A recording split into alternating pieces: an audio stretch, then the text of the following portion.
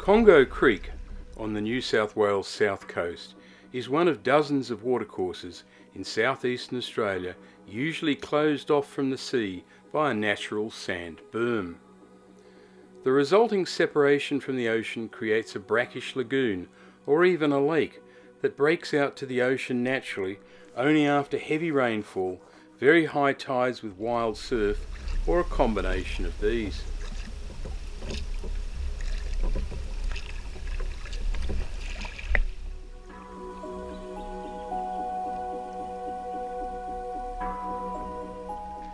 These intermittently open or closed lakes and lagoons are characterised by often large expanses of seagrass, flowering plants that thrive in warm shallow water.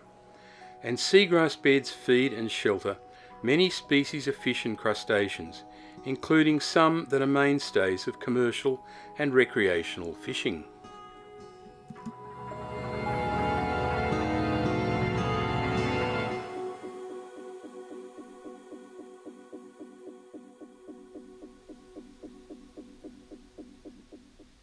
Underwater, Congo Creek can be an eerily beautiful place.